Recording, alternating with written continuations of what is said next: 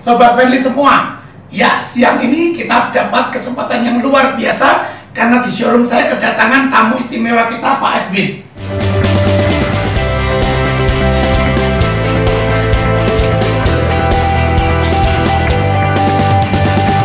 Edwin. Nah, ya Pak Edwin ini customer saya. Eh, kita ketemu waktu di suatu pameran ya, Yes. sorry kalau tidak salah ya. Nah, apa yang menarik yang saya dapatkan dari Pak Edwin? Lihat, body kita berdua bersaing. kita sama-sama menjadi simbol kemakmuran, terutama bagian perut ya. Nah, tapi apa yang menarik?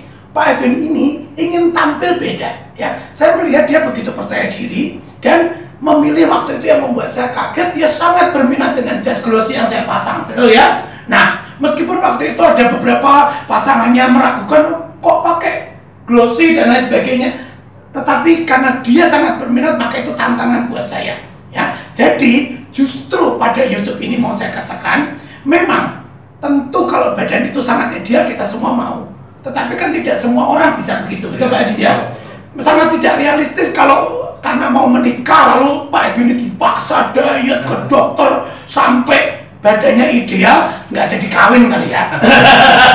nah maka tantangan bagi anda dan saya, bagi saya terutama Master Taylor adalah ya bagaimana untuk bisa menampilkan impian apa yang Pak Edwin lakukan ya. Lalu jas yang jadi kita lihat. Ya mana jasnya? Keluar. Lihat. Ya ini ada shape ya. Ya mungkin karena jasnya hitam tidak terlalu tampak, tapi shape-nya ini keluar. Shape-nya keluar ya. Tuh shape-nya keluar. Jas ini melekat dan lihat nah ya Pak Edwin ya. Nah nah di belakang anda lihat ini menempel semua sehingga dari belakang pun ada bodinya.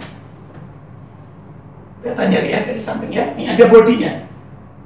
Ya sehingga apakah Pak Edwin menjadi sangat kurus seperti Adele tidak. Tetapi tetap enak dipandang karena serasi.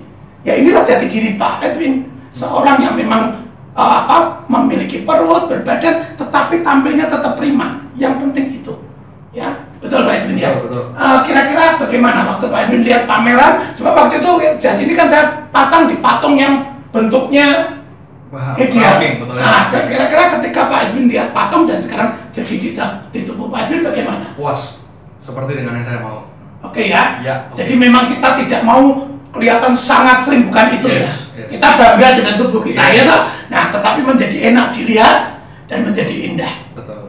Oke Pak Edwin. Oke. Jadi Ya. Beri semangat Pak Edwin. Yang badannya seperti kita jangan takut.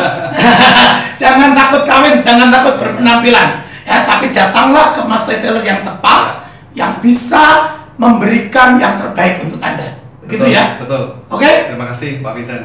Terima Yes. Oke. See you.